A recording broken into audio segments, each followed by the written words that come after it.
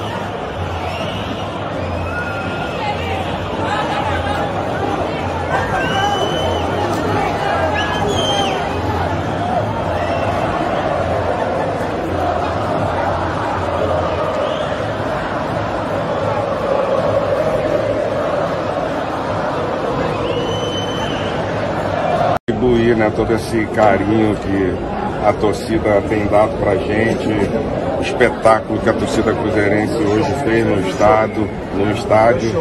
E, enfim, eu tenho certeza que com a atuação, mesmo com a derrota aqui hoje, é, é uma atuação que deixa assim um, é, um, uma, uma, uma boa sensação pra gente com um jogador excepcional que é o Hulk, um grande amigo e que foi determinante no jogo de hoje. Acho que o Cruzeiro hoje mostrou uma coragem é, incrível, é, só reforça que estamos no caminho certo. Acho que é, resolvendo as coisas na segunda-feira, que vai ser um dia importante, com duas peças a mais para essa equipe. É, eu tenho certeza que a gente vai fazer um ano espetacular e retribuir né, todo esse carinho que a torcida tem dado para a gente, o espetáculo que a torcida cruzeirense hoje fez no estado, no estádio.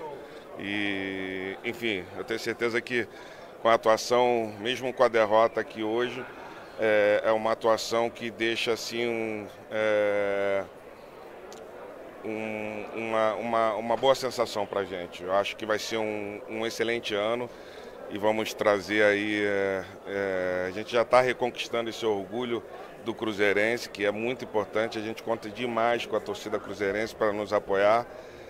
E, enfim, eu acho que, mais uma vez, esse, esse, o jogo de hoje é, me dá a sensação que a gente vai ter um ano espetacular. Ô Ronaldo, você falou sobre essas peças que precisam chegar ao time. E a questão do transferban, óbvio que precisa de segunda-feira dessa resolução com o conselho, mas como que está essa situação? Há uma chance de parcelamento, inclusive, desses débitos? Como que funciona? É, a gente tem essa lista de prioridades para os problemas. Vamos resolver um de cada vez. Primeiro segunda-feira e depois os seguintes. Obrigado por fazer parte aí do canal. Se você gostou do vídeo aí, deixa o seu like. Se você ainda não é inscrito, se inscreva para ajudar o canal.